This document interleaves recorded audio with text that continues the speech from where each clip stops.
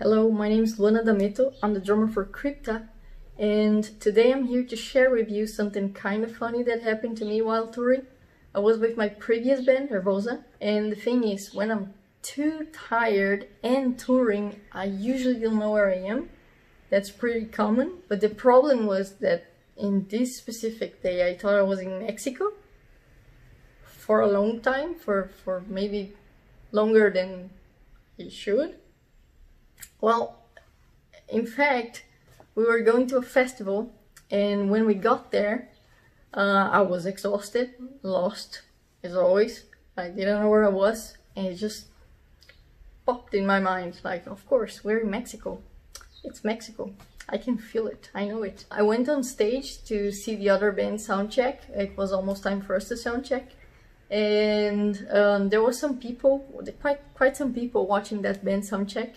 I was just staring at people and thinking, wow, I don't remember Mexican people being so pale and blonde and it's majority. That's kind of strange, but fine, let's keep going, whatever. Let's just enjoy the Mexican experience and not waste any time questioning and went backstage to set up my stuff, uh, just sit down really for a moment.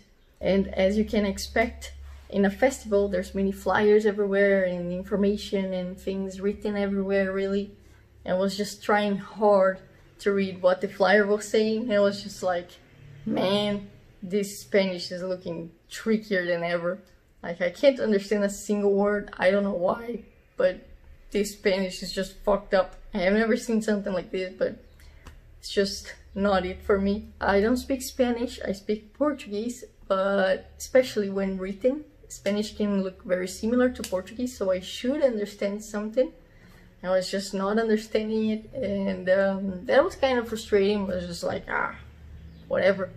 People look very different from what I remember. The Spanish also looks very different from what I remember. It's just probably the area that we are. We're we probably just never played in this uh, area in Mexico.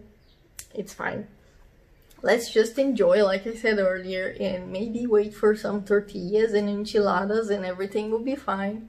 Um, yeah, and I kept with that for almost the entire day. When it was time for us to uh, to sound check, there was two guys like speaking, and I was just like trying to understand, and you know, still getting frustrated at the Spanish and stuff like that. And I was just like, dude, now I can now I understand everything. We're not in Mexico. We're in Germany. And then well, we're in Germany, right? Wrong. Turns out we were in Czech Republic. Um, the bad thing is, this is the second time that this happens. The first one was in my own country, Brazil we were going to play in the north, which is pretty far from where I live in the south. So to me, it's like a two days travel. I need to stop in the way and sleep and then take another flight to the north.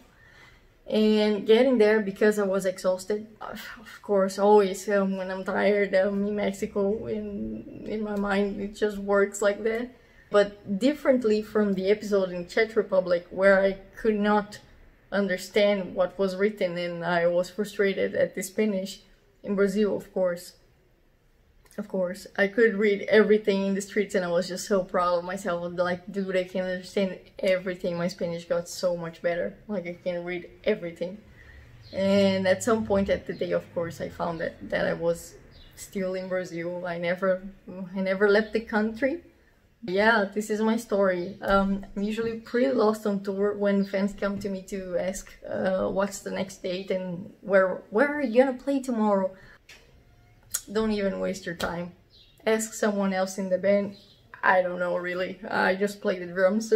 so yeah, that that's that. I hope you enjoyed my story and see you on the road or perhaps in Mexico. Bye.